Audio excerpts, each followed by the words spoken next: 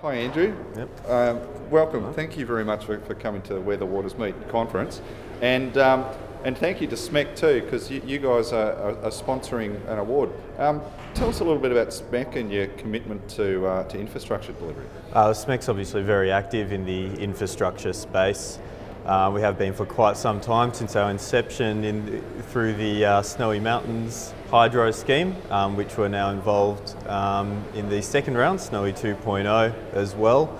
Um, obviously, SMEC have been fairly pivotal to infrastructure development in Australia. Um, and as far as our commitment to, to innovation goes, um, I think there's, there's probably no more important sector than the water sector to be innovating in at the moment. Um, and so SMEC are extremely proud to, to be sponsoring the um, Infrastructure Project Innovation Award. Yeah, fantastic. And so um, also too is it welcome to Tasmania. Um, you, are down here. Have you heard much about some of the interesting Tasmanian infrastructure projects that are floating around? Do you have any? Uh, ab absolutely. Um, with everything that's happening in, in Tassie at the moment, the Battery of the Nation projects are obviously extremely exciting. Um, and um, with the initiation of Taswater's new capital delivery office as well, um, we think it's going to be a very, very exciting time over the next few years. Um, we're very excited to see what will happen over the next few years in terms of um, modernising Taswater's um, and Tasmania's assets and bringing Tasmania to the forefront of innovation um, and understanding the role that Tasmania can play in um, tackling some of the major challenges that we face as a nation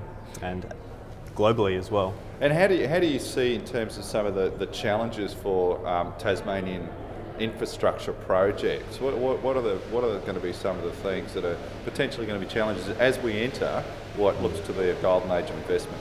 Hmm. Uh, well, Tas Tasmania being separated from the mainland, I think there are unique challenges um, that that presents.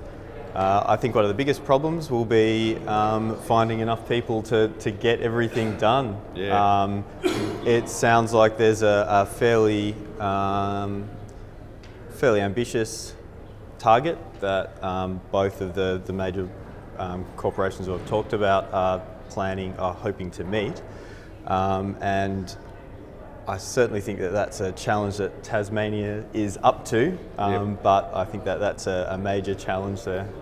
Do you see competition with uh, with other mainland projects like uh, we might want to build a battery of the nation, but then there's Snowy Hydro, and we might want to build mm. some Taswater projects, but we're competing with freeways in Melbourne. How do you see availability is working out? Well, look, I mean, it's it's uh, in that sense, you're right. It's an Australia-wide problem, isn't it? Uh, over in Melbourne, we're um, building huge tunnels. Mm. Um, we're building freeways. We're, uh, we're investing in infrastructure in a sense that is really unprecedented. And you're right, the same thing is happening throughout the nation. Um, I think Tasma Tasmania's um, role in the infrastructure boom is unique yeah. though, in what um, Tasmania are trying to achieve.